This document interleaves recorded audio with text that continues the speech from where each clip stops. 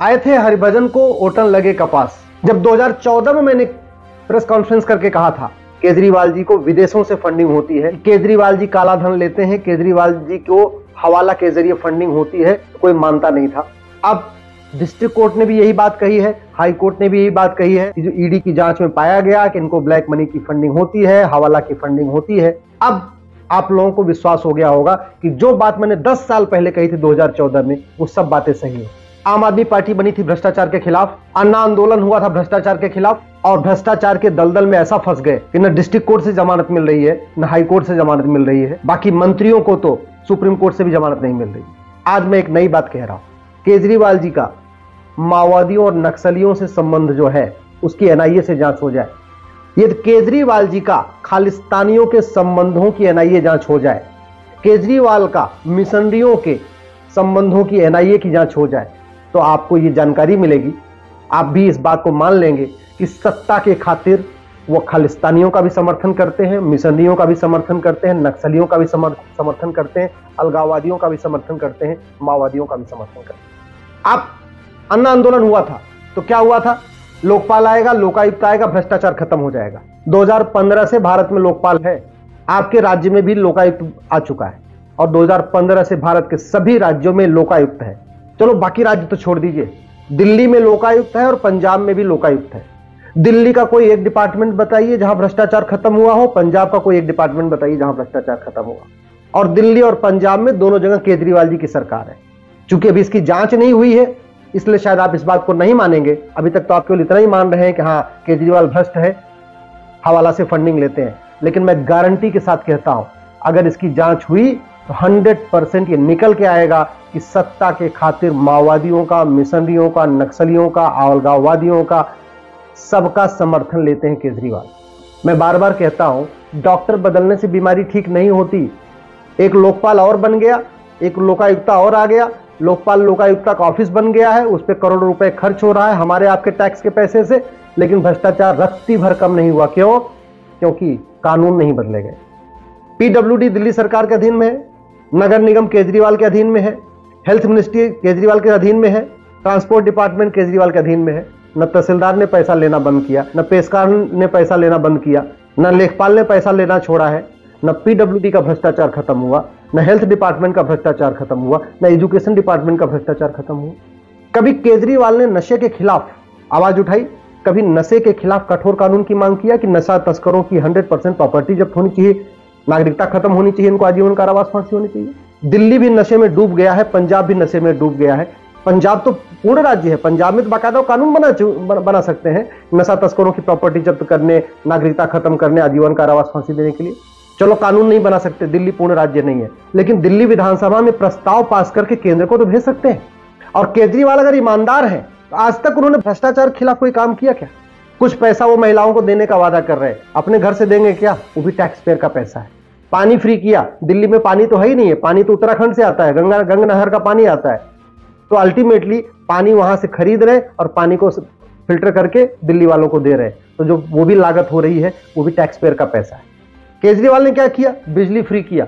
और बिजली का जो लागत होती है और हमारे आपके टैक्स के पैसे से आती है। अपने घर से उन्होंने केजरीवाल ने बिजली फ्री नहीं किया है।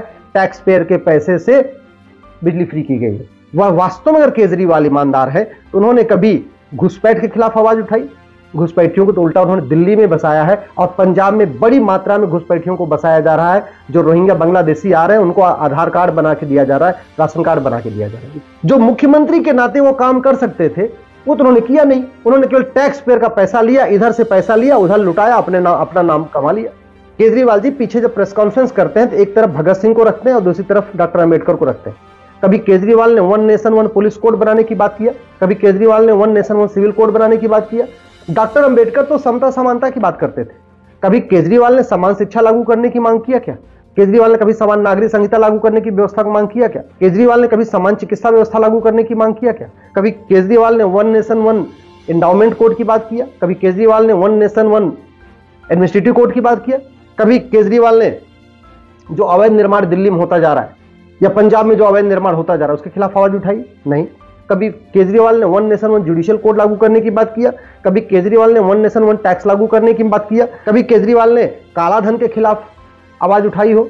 कोई एक वीडियो बता दीजिए जहाँ केजरीवाल ने कहा हो कि कालाधन बेनामी संपत्ति 100 परसेंट जब्त करने, भ्रष्टाचारियों को आजीवन कारावास फांसी देने और भ्रष्टाचारियों को नागरिकता खत्म करने के लिए कानून बनना चाहिए। कोई एक वीडियो अगर आपको मिला तो आप बताना मुझे। तीन बार मुख्यमंत्री रह चुके हैं, दिल्ली में भी सरकार है, पंजाब में भी सरकार है। पंजाब में भी लाखों परिवार बर्बाद हो गए हैं नशे के कारण। लाखों बहन बेटियाँ अपने नशेड़ी पतियों से परेशान हैं नस, लाखों बच्चे नशेड़ी बाप से परेशान हैं लाखों माता पिता अपने नशेड़ी बेटों से परेशान हैं। बताओ दिल्ली में लाखों परिवार बर्बाद हो गए केजरीवाल की शराब के कारण। कभी केजरीवाल ने नशा नियंत्रण के खिलाफ कानून किया? उल्टा पैसे के लिए चंदे के खातिर। दिल्ली में जहाँ एक मोहल्ले में एक शराब का ठेका था वहाँ एक एक मोहल्ले में तीन तीन शराब का ठेका खोलने का आदेश पारित कर दिया।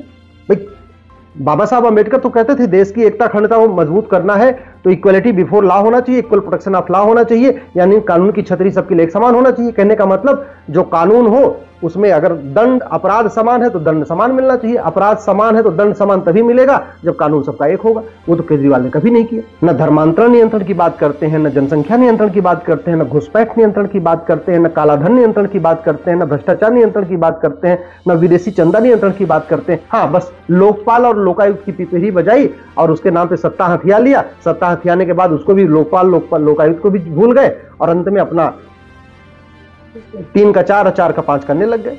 कभी केजरीवाल ने भ्रष्टाचार और अपराध को जड़ से खत्म करने के लिए कॉन्स्टिट्यूशनल रिफॉर्म की बात किया। कभी केजरीवाल ने इलेक्शन रिफॉर्म की बात किया। कभी केजरीवाल ने जुडिशियल रिफॉर्म की बात किया। कभी केजरीवाल ने टैक्स रिफॉर्म की बात किया। कभी केजरीवाल ने एडमिनिस्ट्रेटिव रिफॉर्म की बात किया। केजरीवाल का जो मिशनरियों का नेक्सेस है, जो पंजाब में खुलेआम धर्मांतरण हो रहा है जगह जगह चंगाई सभा हो रही है और बीमारी ठीक करने का वादा करके कन्वर्ट किया जा रहा है।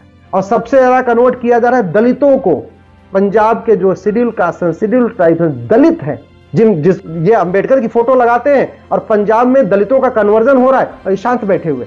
लेकिन अब मैं मांग करता हूँ कि केजरीवाल जी और खालिस्तान के जो संबंध है, इसकी एनआईए से जाँच होनी चाहिए। केजरीवाल का माओवादियों का जो नेक्सस है, इसकी एनआईए से जाँच होनी चाहिए। केजरीवाल जी और नक्सलियों के बीच में जो संबंध है, उसकी एनआईए से जाँच होनी चाहिए। इस पाखंड को भारत की जनता समझ चुकी है, युवा समझ चुके हैं। जो नहीं समझ पाए हैं, उनको समझाना बहुत मुश्किल है। केजरीवाल वास्तव में ईमानदार हैं तो मीडिया को बुला लेते और मीडिया के सामने अपना लाइव नार्को टेस्ट करा लेते पॉलीग्राफ टेस्ट करा लेते ब्रेन मैपिंग टेस्ट करा लेते, पूरी दुनिया देख लेती केजरीवाल ईमानदार है, वास्तव में भ्रष्ट है। चलो मान लिया कि कोर्ट भी केजरीवाल के खिलाफ हो गई है। ईडी केजरीवाल के खिलाफ है, सीबीआई केजरीवाल के खिलाफ है, इलेक्शन कमीशन केजरीवाल के खिलाफ है, और हमने मान लिया कि चलो कोर्ट भी सीबीआई केजरीवाल के खिलाफ है। तो भैया प्रत्यक्ष सांच को आज क्यों? अपना नार्को टेस्ट कराओ ना और लाइव करा दो। जैसे हर चीज़ आप प्रेस कॉन्फ्रेंस करते हो, मीडिया के सामने करते हो। एक बार अपना लाइव टेस्ट करो नार्को टेस्ट करा के मीडिया को लाइव करने दो। ब्रेन मैपिंग टेस्ट कराओ, मीडिया को लाइव करने दो। पॉलीग्राफ टेस्ट कराओ, मीडिया को लाइव करने दो। वो नहीं करना। बस केवल और केवल ये कहते रहना कि मैं ईमानदार हूँ, बाकी सब भ्रष्ट है। इसको एक्सपोज करना ज़रूरी है, मैं आप लोगों से निवेदन करता हूँ। अब, ईमानदारी से, पार्टी हित से ऊपर उठ जाइए, देश के बारे में सोचिए, और जो पाखंडी नेता हैं, इनके पाखंड को एक्सपोज करिए। इसलिए मैं रिक्वेस्ट करता हूँ, पाँच हज़ार फेसबुक फ्रेंड बनाइए और कड़वा सच लिखना शुरू करिए।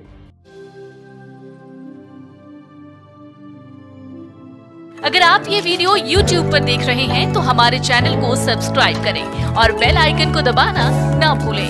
अगर आप Facebook पर ये वीडियो देख रहे हैं तो हमारे पेज को लाइक करें।